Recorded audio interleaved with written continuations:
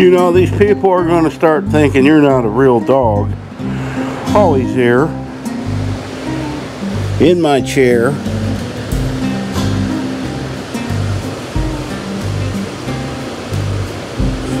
Man. Let's go see what your brothers and sisters are doing. Well, there's my first customer, and there's Waldo. What are you doing, boy? You guys up to something out there? Huh? You already had your milk bone. Well, you already had it. Yeah, Lily had hers. Oh, Lily. Okay, I gotta, I gotta go make a movie. You're already in the movie, I know. You gotta be in the credits. Okay, uh, everybody got their dose of Waldo. Oh, that was a little extra you said there. Okay, I gotta go water the garden. Where's Millie? You guys are out frolicking. They're out frolicking. There she comes. There she comes. What are you doing, Millie? Yeah, where were you? I don't know where you guys go in the day. I think you go to, uh, give me those heads. Give me those heads. Good girls. No bugs on you guys, huh?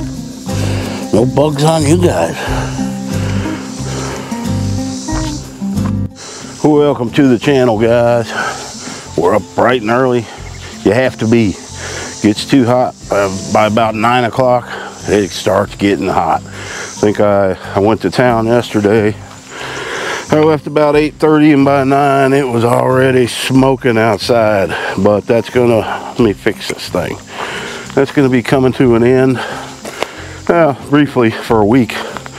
We're supposed to be in the 80s next week and trust me, that's a difference. And hopefully I can get out and do some weed eating and things I haven't been able to do because as you can see, we got quite the jungle. Quite the jungle. Let me see what these girls have been up to. They don't probably want this chair here. Get all this junk out of the way. What you girls doing? Yeah. Been up to no good. Well, as soon as it cools down, I'm to get out here and tear these seats down. Then you guys will just have a deck. Yeah, what do you think of that, Millie? This is their stomping grounds. Yes, your toys. You knocked that, to that toilet seat off. And that's what's covering them screws. I gotta go fix that. Uh, I don't have good shoes on. All right. All right. Man, look at my walking trails, guys. but you know what? That big weed eater I got, I'll get out here, knock all that down. What I see this year is everything that's growing is the easy stuff to knock down. I got to get those stumps out for those oak trees. They just keep coming back. But other than that, uh, that stuff's pretty easy to knock down. And every year I try to get more and more. I don't see any privet coming back up. Not much anyway. So that's good. You can tell where the some pokeweed and stuff. Yeah, Waddles. All right, well, I've been getting cabin fever and we're just gonna make a, let's go over and water the garden a little bit. Me getting the right light situation. Because you gotta get out here early, otherwise you miss the bus. And the garden, peppers are doing good. Tomatoes, they're kind of dormant because of the heat. But um, I think we're gonna get one more batch out of them. All right, let's go over there. Grass isn't growing. That's a good thing. Whew. There's the garden. So much work needs done. But that never ends. Might as well, Waddles wants to. Yeah, we hear you, Waddles. Junk, junk everywhere. Here we go. All right, let's get some of these guys a drink. Excuse the air conditioner in the background. I don't have the microphone on. That go goes with the other camera. Woo, it's already humid. And like I said, next week, actually today is the last real hot day. I think tomorrow gonna be about 97. I'll take it. I don't water these herbs that much, but it's been so hot you got to water every day now. We haven't had rain in weeks. We're supposed to get some maybe Monday, but that's only a 30% chance. Uh, then I come over here. Like I said, those these things, that's not a good idea planting them. It should be flowers. Ooh, I got to show you guys that wildflower that came up over there. Pretty cool. It's still there today.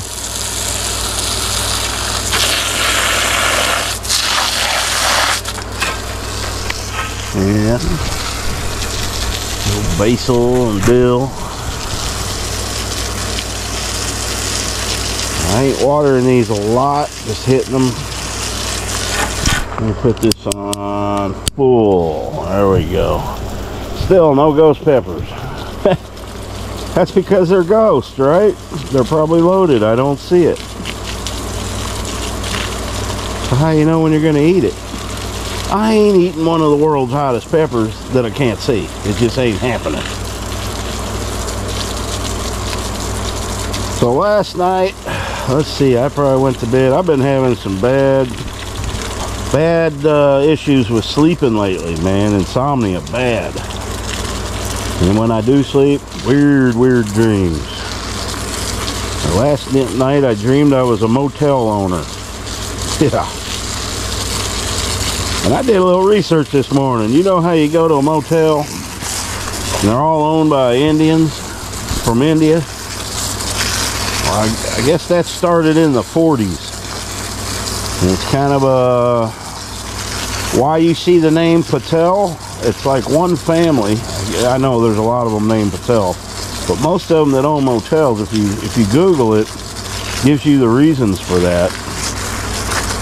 And there's only like two names that motel owners in the country will will have Patel and the other one's like Marin or something like that but uh, why do I have these dreams? All right but that's true. Super 8s, Motel 6s, you ain't gonna find a, uh, anything but an Indian person. Not that that's bad. It's, and they own liquor stores too. I've noticed that. Certain ethnicity, eth ethnic groups own certain things. Why is that? And if you think about it, motel business probably isn't a bad business to be in. I wouldn't want to mess with nobody's sheets or any of that. And they own some pretty seedy ones too. Yeah, a lot of drugs. I don't stay in motels at all anymore, and I never really did. About the only times I've ever used a, a hotel or motel is when I was relocating to a new job and the company put me up. Didn't really have a choice. Other than that, I'd sleep in rest areas, or I would pull into a motel. A lot of people don't think of that. If you're traveling, you want a place where nobody's going to bother you to sleep, pull into the back of a large motel or a hotel and they just, you know, as long as your windows are covered and they can't see you, usually I never had any trouble. Yeah, you don't want to be drinking, but just a place to pull off the road and sleep. You know, that works. I was never afraid to sleep in a rest area. I would advise a woman to do that. I wouldn't even probably do it today. And that one there is dead. I don't think it ever produced much anyway. Marigolds are doing well.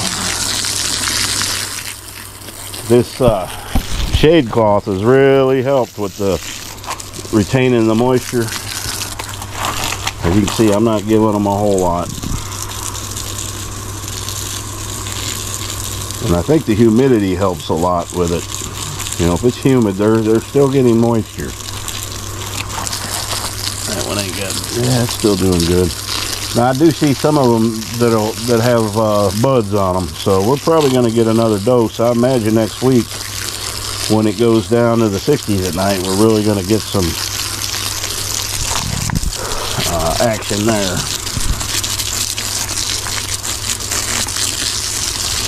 Maybe the reason I'm having trouble sleeping is I've been taking two, three hour naps in the afternoon. You think that might have something to do with it? But I like my naps. And I don't know what it is with naps, but boy, you have the weirdest dreams in an afternoon nap.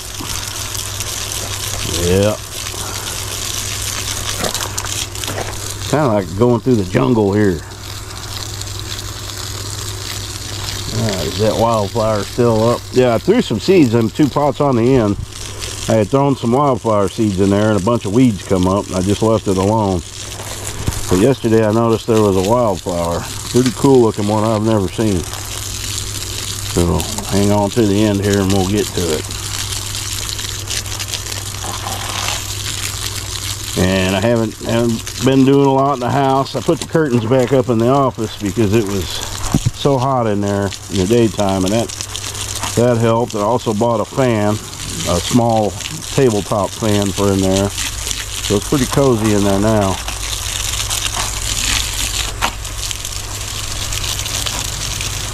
Get a drink, my little friends. Get a drink. Drinky, drinky, drinky. Hey, look at that one dancing.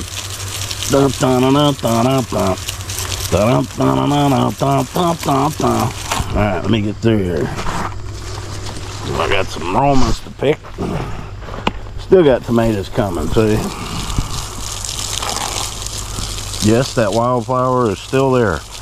It is cool. We'll get to that here in a minute.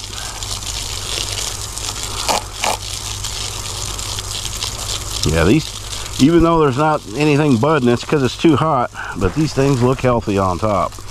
Got rid of that spotted leaf stuff. Just been too, it's just too hot to get out here and pick all these dead ones off. That one's all but dead. You know, this time of year you start getting tired of the garden. I do anyway.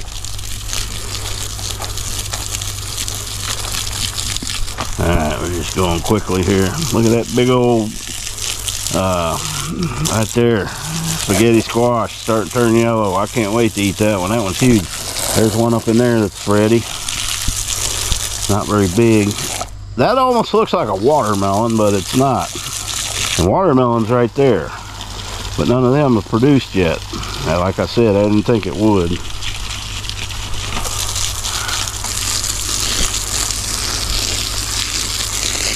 All right. And these plants are starting to make their way over to the netting crawling up the netting. I think next year I'm going to get a soil test kit. To see where all my levels are this is uh, I've grown in this same soil for several years and it seems to get better every year as it should.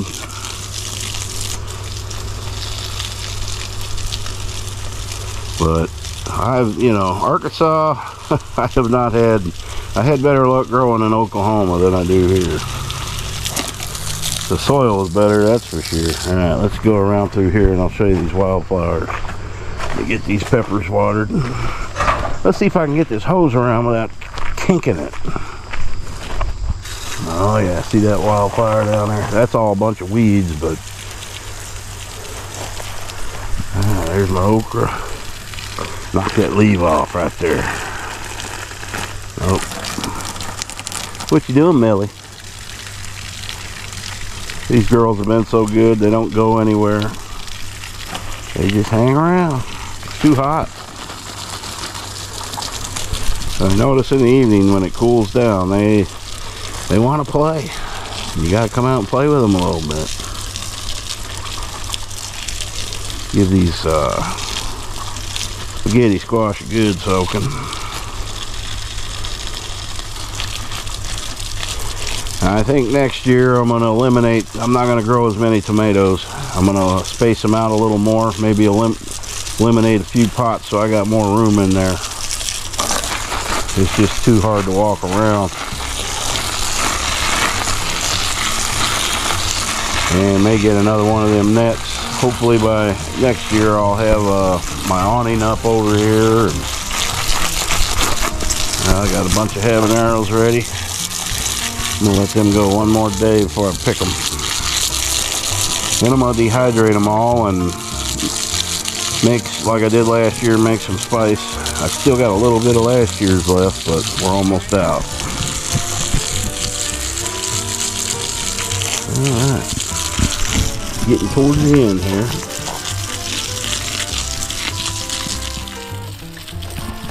A lot of bell peppers on that one. Giving these a little extra because they are out in the sun. That doesn't ever seem to bother the peppers of any kind. They like the hot sun. Habanero sure do. Right, one more there and then we'll go look at that wildfire.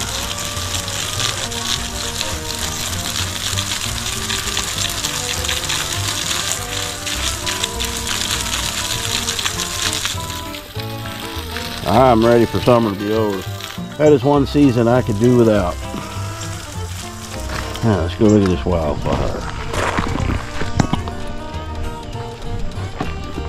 I don't know what kind it is. It was kind of, there's a couple different kinds in there. See it?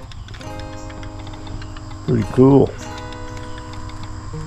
Little purple ones in there, but this, uh, I haven't seen them growing around here, so that I know that came out of that seed pack.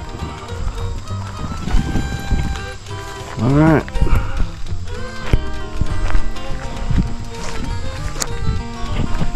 What you doing?